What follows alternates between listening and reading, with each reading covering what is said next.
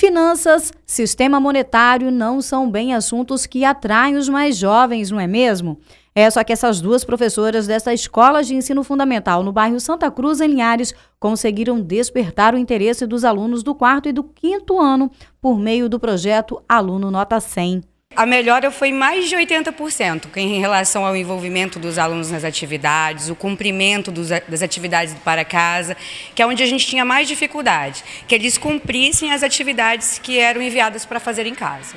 O objetivo do projeto é desenvolver, por meio de atividades, o uso consciente do dinheiro. Só que o trabalho interdisciplinar foi além e conseguiu reduzir o déficit de atenção e participação dos alunos em sala de aula e nas tarefas de casa.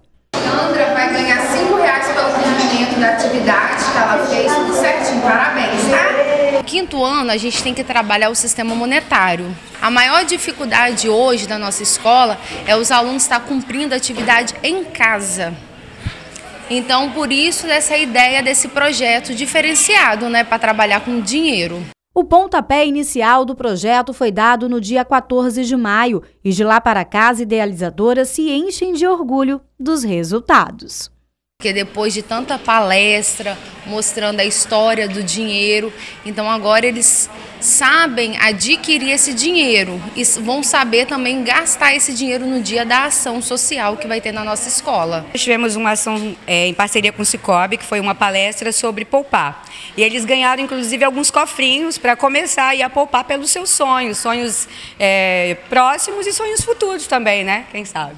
Aqui na mesa da professora nós temos moeda de 10 centavos, 50, um real, notas de 10 reais, 20 reais e até de 100 reais. Esse dinheiro é simbólico e ele é dado aos alunos que cumprem com as atividades dentro da sala de aula e também com as atividades de casa, que é o caso desta aluna aqui. Williandra, você já arrecadou quantos? 57 reais. E até o dia da ação, que, é no, que vai acontecer no dia 8 de julho, você pretende arrecadar mais quantos? Até, até 100 reais. E por que, que você quer arrecadar esse dinheiro? Porque o projeto é aluno nota 100 eu quero ser aluno nota 100.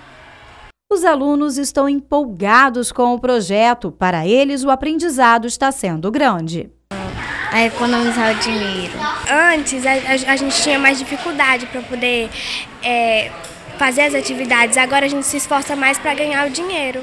Eu faço mais atividades para ganhar dinheirinho e quando fazer a festinha lá eu poder comprar as coisas.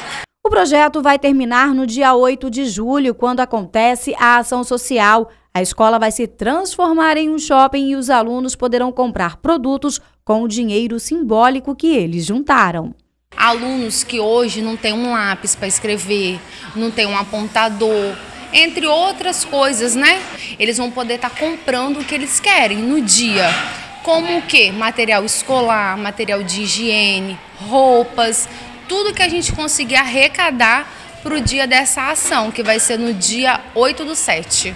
Esta economista elogiou a ideia e falou da importância da educação financeira ainda na infância.